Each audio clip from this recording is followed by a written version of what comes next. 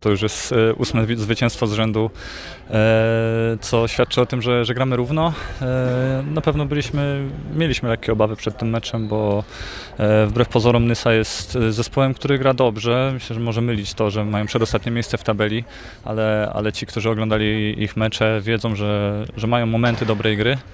Może trochę problem z tym, żeby, żeby to utrzymać dłużej i zagrać tak cały mecz, więc, więc podeszliśmy przygotowani. E, I na szczęście się udało. Nie czułem tego tak, żeby to było jakieś e, łatwe, łatwe spotkanie dla nas.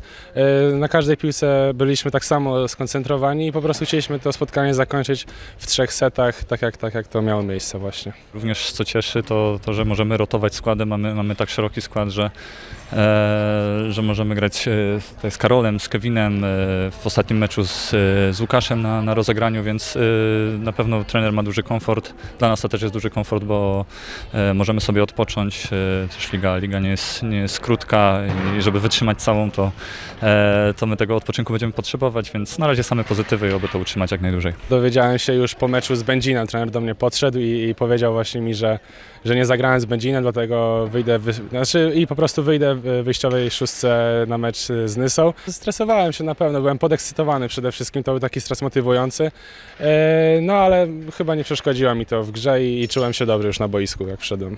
Te trzy challenge wygrane w końcówce drugiego seta mogły też e, troszeczkę zaświadczyć o tym, że później w tym trzecim secie już było widać, że no, Wam ta gra się zdecydowanie lepiej układała. Tak, naprawdę brawa dla trenera, czy, czy nie wiem kto tam podpowiadał, ale naprawdę brawa, bo, bo byłem akurat wtedy w kwadracie, yy, ale kamień z serca mi spadł, że wygraliśmy to spotkanie. Trochę szczęścia, ale jak to mówią, szczęście sprzyja lepszym, także dzisiaj to byliśmy my.